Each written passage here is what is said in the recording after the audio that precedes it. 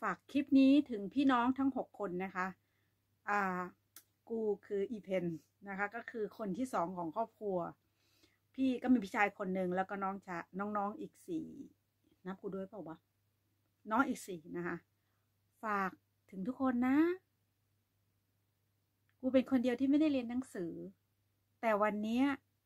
จะบอกว่ากูสอบติดช่างก่อสร้างที่สวีเดน สาขาทาสี จำไว้นะ กูลูกพ่อ กูลูกพ่อ พ่อพ่อเป็นช่างผู้รับเหมาที่มีฝีมือ ก็ไม่รู้นะว่าสอบมาได้ยังไง แต่ถามว่าข้อสอบยากไหมโอ้ยากมากนะ ก็เหลืออีกสองวันจะไปเรียน ยังไงก็ฝากคลิปนี้ถึงญาติพี่น้องทางประเทศไทยนะคะ แล้วก็ คุณอายังมีชีวิตอยู่นะคะ น้องชายพ่อ ก็พ่อเขาก็ฝึกทุกคนให้เป็นช่างหมดอะแต่ตอนที่อยู่กับพ่อไม่ไม่ได้มีโอกาสมาทำนะ วันนี้ก็อยากจะฝากคลิปนี้ไปถึงทุกคนว่า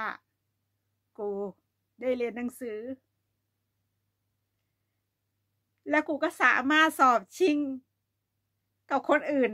ที่เขาเยอะหลายคนมาก กูสอบเข้าได้ กูลูกพ่อไง มึงเข้าใจไหมกูลูกพ่อ มึงก็รู้พ่อฉลาด พ่อจบป .4 แต่พ่อเป็นผู้รับเหมาก่อสร้าง เป็นคนที่ทำโบสถ์ทำศาลาปั้นทำหน้าบานโบสถ์หน้าบานศาลาที่สวยที่สุด กูจะมาบอกกับพวกมึงว่า กูได้เรียนหนังสือแล้วนะ แล้วกูก็สามารถ สอบได้ สอบช่างก่อสร้างไงมึง แต่พ่อบอกว่างานที่ง่ายที่สุด คืองานปูกระเบื้องกับงานทาสี กูเลยเลือกงานทาสีนะ ฝากบอกทุกคนด้วยว่าไม่ต้องห่วงกู กูรู้ว่าพวกมึงอะทุกคนอะห่วงกูหมดแหละ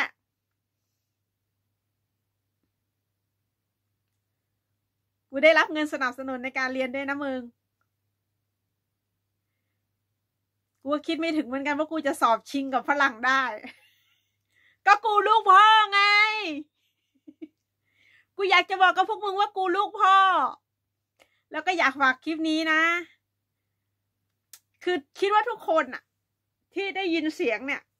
ก็จะดีใจไปด้วยนะ กูอยากให้ทุกคนอะได้รู้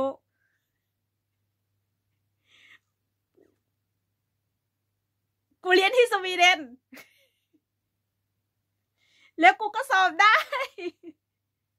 แต่กูต้องใช้ความพยายาม ที่กูจะต้อง เรียนในศัพท์ที่กูไม่คุ้นเคย กูบอกแค่นี้นะ ทุกคนว่า ฝากพี่น้องทุกคนนะคะ ทุกคน คือพี่น้องท้องเดียวกันนะห้า แล้วก็มีพี่น้องคนละแม่เนี่ย คนหนึ่ง แต่พวกเราได้เลือดพอค่ะทุกคน เพราะว่าน้องคนเล็กก็เก่ง ที่เป็นลูกของแม่เลี้ยงก็เก่ง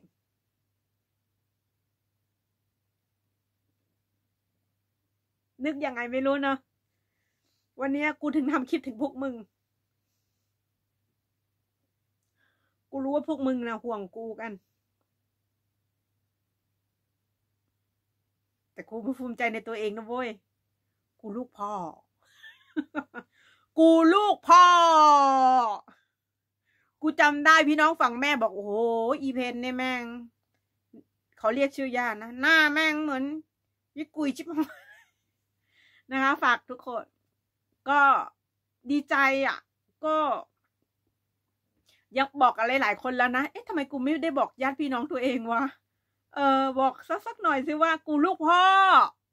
เข้าใจไหมกูลูกพ่อ แล้วกูก็อยากให้อาเล็กอะได้เห็นคลิปนี้ด้วย บ้านดิฉันเป็นช่างสองคนไงก็คือตัวพ่อกับตัวอานะคะ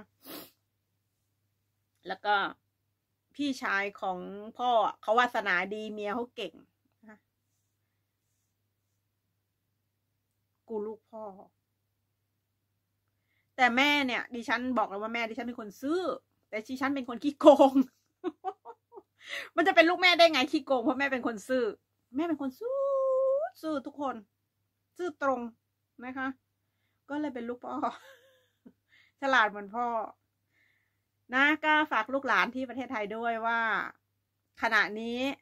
เราเป็นป้าของหลาย ๆ คนแล้วก็เป็นอาของคนเดียวว่า เฮ้ย ดูนะเว้ย วันเพ็ญนะเว้ย อาของมึงนะเว้ย ป้าของมึงนะเว้ย เริ่มเรียนตอนเกือบอายุห้าสิบนะเว้ย อืมนะแค่นี้นะ ฝากให้ดีใจกับตัวเองอะ่ะนั่งปื้ม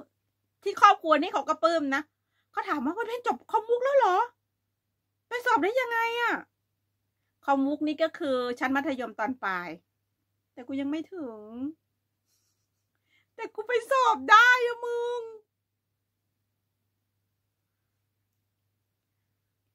คิดว่าพี่น้องเขาดีใจ เพราะว่าเขาที่บ้านที่ที่บ้านเราเลยนะที่บ้านดิฉันนะวัดเรื่องการศึกษาอย่างเดียว ใครจบปริญญาโทใครได้ปริญญาหลายใบใครได้เกียรตินิยม ก็จะเอาปริญญาวัดอย่างนี้แต่จริงๆฉันว่าเชื่อว่าเป็นเรื่องจริงค่ะทุกคน เป็นเรื่องจริงเราต้องวัดกันด้วยการศึกษา เพื่อมีระบอบการศึกษาเขามาการันตีแต่ที่นี่มาตรฐานสวีเดนนะเว้ยเรียนจากภาษาสวีเดนตั้งแต่ที่ไม่รู้ A B C D E F G H ไม่รู้เลยจนมารู้อะ ก็เรียนเหมือนเรียนเด็กๆอะไล่มาเรื่อย แต่จุดหนึ่งมันก็ขึ้น ตอนแรกมันก็อย่างเงี้ยลำบากลำบาก จุดหนึ่งก็พึ่นพึ่นพึ่นพึ่นพึ่นโอเคนะ ก็จะพยายามเรียนให้จบ ถึงมันยากแค่ไหนก็จะพยายาม เพราะวันที่สอบกูเห็นข้อสอบเลยนะ ก็แทบไปไม่เป็น แต่ ลูกพ่อไง สวยทำ ทำเขียนเขียนเขียนเขียนเขียนทำฟังฟังจากเครื่องทำเขียนเขียนเขียนเขียนเขียนเขียนเขียนทำคนมันสู้เว้ยตอนนี้อายุห้าสิบห้าย่างห้าสิบหกอะนะบ๊ายบายนะทุกคนนะคะ ฝากคลิปนี้ถึงญาติพี่น้องที่ประเทศไทยนะคะ อีกสองวันไปเรียนนะ วันแรกเรียนวันที่สิบเจ็ดนะเดี๋ยวพวกนี้ไปซื้อตั๋วเดือนในฐานะเอ้ยเป็นนักศึกษานะเนี่ย ซื้อตั๋วในฐานะ ที่นี่ฐานะนักศึกษาก็คือนักศึกษาซื้อตั๋วในฐานะนักศึกษาบ๊ายบาย ไม่ใช่นักเรียนแล้วนะ เป็นนักศึกษา